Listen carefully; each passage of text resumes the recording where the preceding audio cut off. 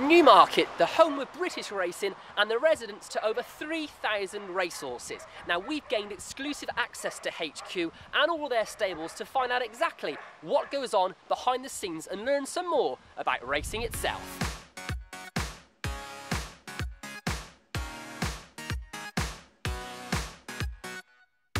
As you can see from her now, a bit sweaty, she's just coming from exercise, but there's no muscle wastage on her. With John Burkett, wife of trainer Julia Feilden, at the helm for this Access All Areas tour, there really is no better way to learn about how the horse racing wheel continues to turn.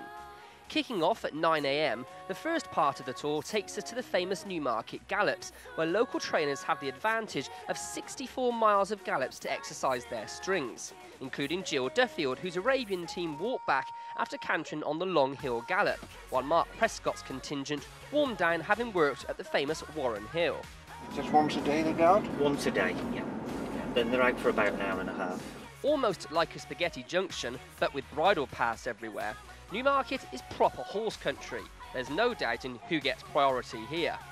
Continuing our journey around HQ, the next stop is a visit to the British Racing School on Snailwell Road.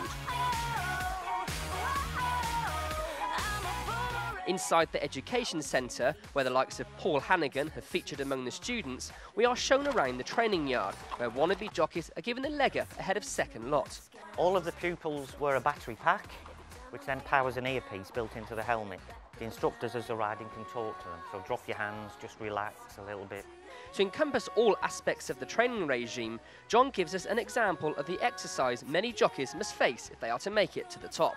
And that's where you, you start to push it, get behind it, you're driving it.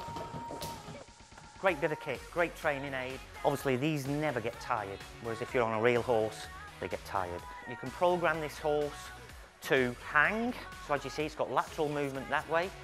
If you hit it in the wrong place, it slows down because a whip is not used to make it go faster, it's meant to balance the horse and encourage it. After a good look around the college, where I even bump into old National Hunt warrior Our Vic, the tour makes its way to a proper racing yard, that of Julia Feilden, which is situated on the outskirts of Newmarket in Exning. Here, John offers a unique insight into the running of a successful racing and breeding operation and also explains more about the feeding process.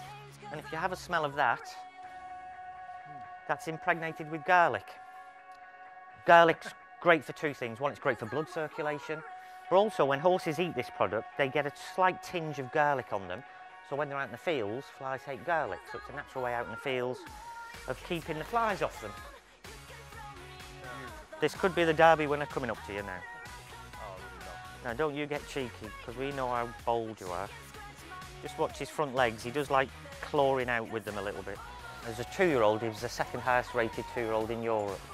On to the Rowley Mile racecourse, and here we get a much better understanding of the infamous Newmarket dip and the famous uphill finish that each horse must encounter in their pursuit for glory. Oh,